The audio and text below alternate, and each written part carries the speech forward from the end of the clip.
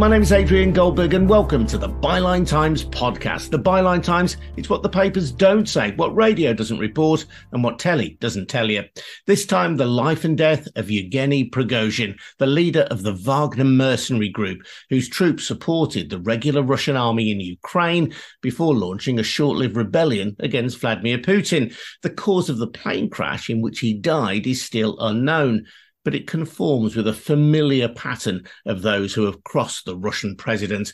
So, who was Prigozhin and how will his death influence the outcome of the war?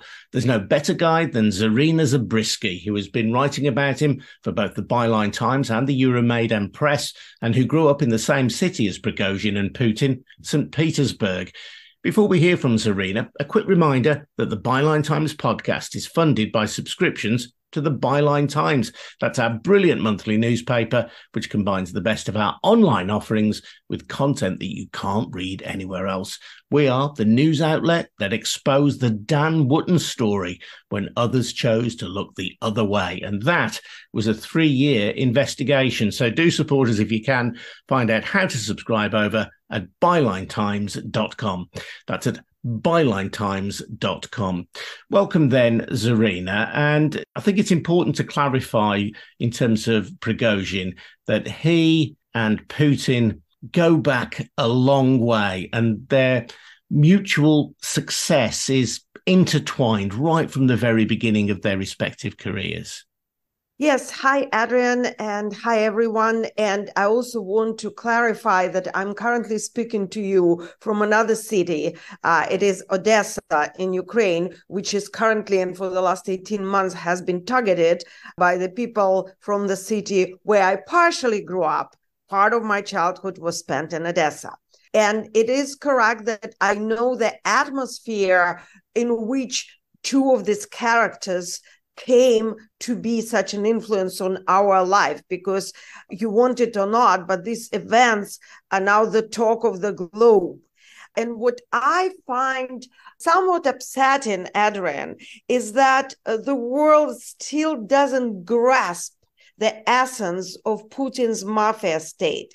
And this brings us to the very root of your question, to the beginning of the Russian mafia state, or by now empire or wannabe empire as we know it. In brief, in a nutshell, and we spoke about it many times on the podcast here on Byline Times, and I wrote about it. There were certain strata of the former Soviet Union, of the decaying structure that used to be the USSR, that came together. And in a very development, it united and blended together organized crime, the bandits, small crooks, which Prigozhin certainly was. He served 10 years in prison for robbery, for actually pulling earrings out of a woman's ears and such. And Putin, who was known to be stealing washing machine in Germany on his assignment, and former military who became obsolete when the Soviet Union fell apart. And that will bring us back uh, to the generals who are the part of the whole picture and the whole alleged crash and alleged murder that we're talking about, and security services, which are very important part of the equation, because both Prigozhin and the actual founder of Wagner, Dmitry Utkin, worked for the Russian intelligence services, of which the so-called erroneously called private military company Wagner was a part of. It worked for the Russian state being a part again of the Russian military intelligence service. And so all of these parts came together. There were other parts too, and I wrote about it at multiple occasions. There were athletes, there were priests who used to be FSB agents. And all of this created this ugly mess that we call the Russian state and which operates as a common mafia. So, what we see now, briefly, there is a turf war. And if we approach what's happening from this point of view, we have a much more clear picture. Going right back to the start of Prigozhin's ascent, though, as you say, he was a criminal, convicted criminal who served years behind bars, but somehow emerged in this chaotic period of Russian history to own a boat, which served as a, a, restaurant. He became known as Putin's chef because Putin used to entertain some of his high flying business guests and dignitaries there and his political allies. And Prigozhin himself, with Putin's assistance, became the head of a major food organization. And you've spoken to me about this concept before of something called Krysha. Krysha is the idea of the house, the roof that protects us all. And their interconnection was so great. And it's part of a wider series of interconnections in Russian society that once you're protected by the roof, you are expected always to look after other members of those who are under that roof. We would call it, as you say, a, a mafia style operation. But was a, this was a mafia style operation that ended up running Russia. Yes, exactly. And it, the Krysha doesn't necessarily protect us all. It protects only those who serve to this particular Krysha. And various bandits have various uh, luck in their lives. So those especially lucky, you know, quote unquote, take it with a grain of salt, have Putin and the FSB as their Krysha. Because on the one hand, it gives you this unlimited opportunities to make this um, immense, obscene amount of money. On the other hand, your life doesn't belong to you anymore and this very money that you're after doesn't belong to you either. All of this can be gone in a wink of a second and we've seen it multiple times. We have the reports of oligarchs and businessmen sleeping on uh, the proverbial banana or falling out of the windows or losing the balance in saunas. And this crash the plane crash that we had the reports of last night is the result of Prigozhin and Utkin working for Putin and the FSB as Krysha.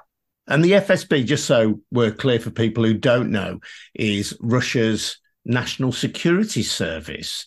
It is, I suppose, their equivalent of what would it be, the FBI or the CIA? It's the former KGB. You know, there's also GRU. There's like, we probably shouldn't jump now all the definitions because they're not really parallels. They're different. All we need to know that they're security services. They're extremely powerful. And of course, most people know that Putin used to be the KGB officer. That was his major career before he became the Russian president. And we also know that they say that once the security ser- uh, service officer in Russia, you never quit. Once the KGB, always the KGB, and once the FSB, always the FSB. So until recently, until very recently, Prigozhin would have operated under their protection. And he didn't found the Wagner Group, as you've explained, but he became its charismatic figurehead. He was somebody who loved to be pictured in the field of military operations, not only in Ukraine, but in other parts of the world as well. And in your writing, you're keen to ensure that we understand that the Wagner Group is not as it's often described, simply a mercenary group operating on a freelance basis. This is a group that may operate at arm's length from the Russian government, but only acts in accord with the wishes of the Russian government, in accordance with the Kremlin's desires. Yes, exactly, Adrian. It's a secret subdivision of the main directorate of the General Staff, which is the GRU, formerly known as the Main Intelligence Directorate. So, why do we refer to it as a private military company? It's because the mistakes like this often happen. Western journalists take something familiar and just project it on the entity that somehow reminds them of what they know. So journalists started to apply this term PMC to Wagner Group, and everybody started to do it but it actually is subsidiary of the uh, ministry of defense so in reality they were reporting to Shoigu and Putin himself confirmed that 3 days after the mutiny which was 23rd of 2023. And on the 27th of June, Putin, who kind of seemed to have lost his bearing and said a lot of different strange things that he didn't say before, made this televised appearance and said clearly in clear Russian that the Ministry of Defense was providing funding for Wagner Group and he named the number. He said it was about the equivalent of $1 billion. And this group operating in Ukraine was recruiting from prisons. It was recruiting from what you might say were the dregs of Russian society. And even within the scope of Russia's invasion of Ukraine and some of the atrocities that have taken place there, the Wagner Group was responsible for some of the worst atrocities. That is correct. That is important to remember. And I think there was a purposeful move to recruit the convicted murderers and individuals with uh, mental issues who don't have the normal amount of empathy in order to carry out the terrorist policy because it instills fear generally the say the civilians in occupied territories naturally are more afraid of convicted murderers and rapers than even of the regular military. And i heard that a lot in the in the liberated territories.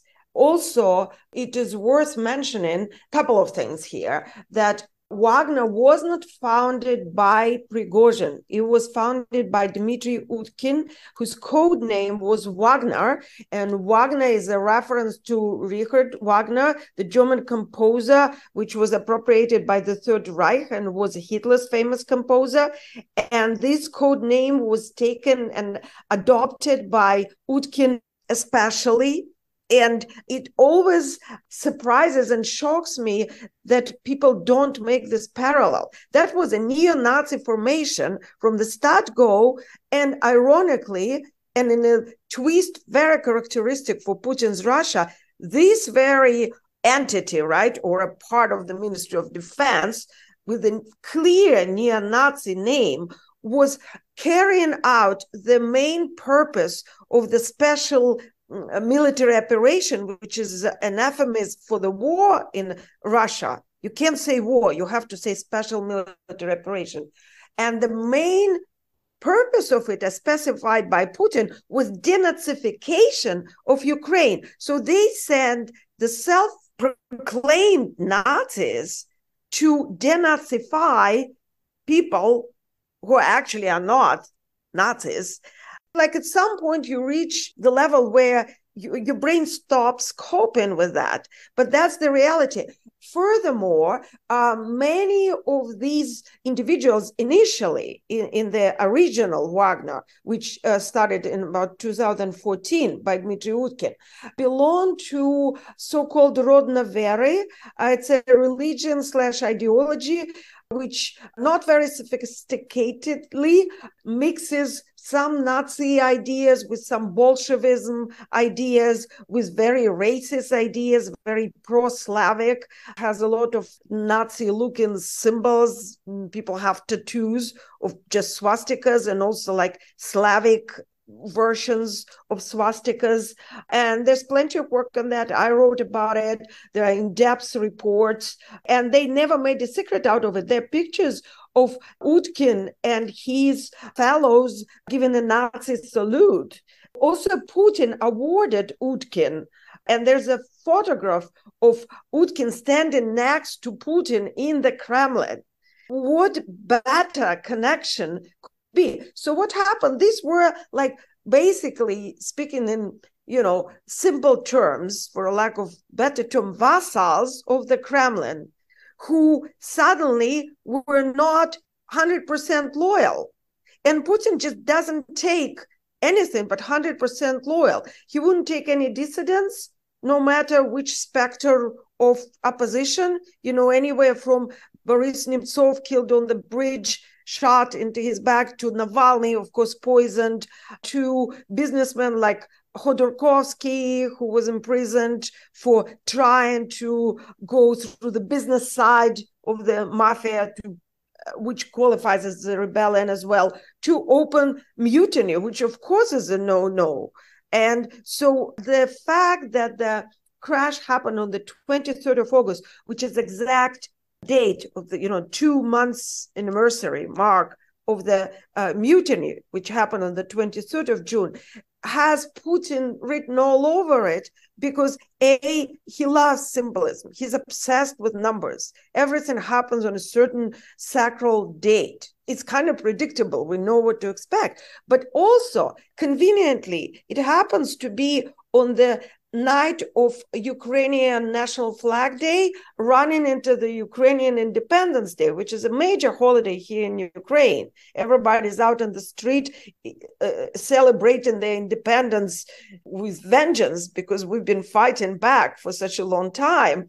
So it would be very convenient in theory and very Putin like to blame SBU, which are Ukrainian secret services, on somehow implanting a bomb into Prigozhin's jet and then calling for vengeance and calling like a major blow on Kiev, Odessa, you name it. So using it, you know, getting rid of unloyal vassals and blaming it at the same time on your main political adversary and finding a reason. Not that anybody needs a reason at this point, but that's how logic works. And this is something that is so important to understand. I guess the two major things here we're dealing with mafia. Do not apply your regular logic, your expectations. Do not project your thinking, especially if you happen to listen to me from the United States, United Kingdom, France, you know, anywhere if from a democratic country, flawed as we are, because I am an American, despite my accent. For those of you who don't know, I'm an American citizen. I spent most of my conscious life in the United States. I know how people think there, but I also grew up in the former post Soviet empire, and I know how things work here. This is day and night, it's mimicry for something that you know it looks like it, but it is not at all. And another thing to know is that the logic of this mafia state works in some theatrical, staged way. There's always some sort of spectacle, which is unclear to us from the West. Why is it needed? To us, to most of us, the majority of uh, the international community at this point, Putin is a villain, like he's certainly on the side of evil. But it is not so for the brainwashed Russian population. It is not so for the Kremlin. They believe that they're the saviors of the world. And they need to stage the spectacle with which I grew up with when everything is a backdrop. Nothing is behind this backdrop. It's a Potemkin village. Like you, you poke a hole behind it and you see this darkness and poverty and, and the horror, the horror, the horror, you know, of the heart of darkness but not for them. Like, listen to Dugin, du, uh, Dugin, who is the main ideologist of uh, Putin, whose daughter was assassinated this year earlier and killed another ideologist, by the way. He already came up with something like pray for Prigozhin and the enemies of Russia assassinated Prigozhin. And he might be actually believing it ridiculous as it sounds to us. So do not apply the logic of a normal human being to these individuals. It doesn't work that way. Why did Prigozhin fall out with Putin to the extent that he led this aborted mutiny, this march on Moscow, which eventually came to nothing? Well, again, I mean, it's a great question. And the answer, I don't want to repeat myself, it's seemingly absurd. What kind of culmination, what kind of way out could he possibly be expecting, right? Rebelling against the army that outnumbers him and calling for the infamously passive population that is afraid to open the door, you know, and step out nothing happens in Russia, right? He couldn't have possibly expected that the uh, thousands would like go after him and march on Moscow. The answer is do not apply the logic to it. There's no logic. This is a person who spent 10 years of his formative years in prison. He has the thinking of, uh, first of all, of a thug, and secondly, of a criminal. They have their own system of beliefs. They live by understanding, by panyatia. There's a different kind of laws. You know, it's a world where the murder is acceptable, but the torture is the way to go to reach your goals. And also, this is a person who spent the last 10 years of his life in various conflicts and war zones. And there is no logic there basically we're dealing with a bunch of lunatics. I know it doesn't sound like a political analyst lingo, but let's address it and name things for what they are. It's a different mentality. And from our standpoint, this is a mentality of unstable individuals. We should stress that we don't know the cause of the plane crash in which Prigozhin died as we record this, and we should just have due caution around that. But I think it's fair to say that anybody who crosses Putin is likely to come to a sticky end, and Prigozhin presumably would have known that, but made this decision to launch a mutiny, then backtracked. And there's a sense that his ending was inevitable. I also want to comment here along these very lines that there was no official confirmation of Prigozhin's death at this point. There were a record of 10 people killed, the list of names of people who allegedly boarded the plane, but so far his body hasn't been identified. His phone was found according to many sources, but we don't have any official confirmation. And I've heard many, many versions that include the version that Prigozhin wasn't on the plane, that it was staged by the FSB. I wouldn't exclude it entirely. It is unlikely so. It looks it looks again with emphasis on looks like it would be typical putin's move but we don't know anything for certain like i said before everything is a spectacle. I will not be surprised if in a week Prigozhin pops up somewhere in Africa and they blame everything on the Kiev regime. Which brings us to Russia's invasion of Ukraine. And obviously, you're in Ukraine at the moment, as you say, in Odessa. Is Prigozhin's death likely to have any impact? And if so, what will that impact be on the conflict in Ukraine? Well, yes, I, I was uh, with a few friends yesterday. We were celebrating National Flag Day when the news started to arrive. And some people were like, oh, what does it matter? It's just like one other babe person gone. And so we had a little bit of a discussion. Well, I can tell you the direct impact uh, when I was heading back home, I stopped by a store and the line to buy alcohol was uncharacteristically long. Ukrainians don't drink that awfully these days, but obviously everybody was celebrating. They were like honking in the street, and there was a lot of excitement because there's a sense of justice and there's a sense of expectation of more because, you know, after, there were a lot of memes. After Prigozhin, Ukraine expects Putin to follow the steps, follow the collapse. Whether Prigozhin's alleged death leads to it, probably not, but it does indicate the chaos and instability in Putin's Russia. And that is a good symptom because the more people Putin has to fight, the less stable he is. And hopefully, at some point, the Russian Empire will implode. I personally do not expect any good outcome even in this scenario. But however, it could be good for Ukraine because while there is some infighting back in Russia, they might not have the resources to continue the war on Ukraine.